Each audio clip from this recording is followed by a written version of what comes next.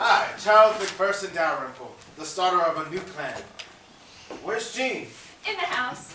Charlie, what are you doing here, lad? You're not supposed to see Jeannie before the wedding. This brings bad luck. Really, sir? Aye. Now, take this Bible and sign your name under that, my dear departed wife.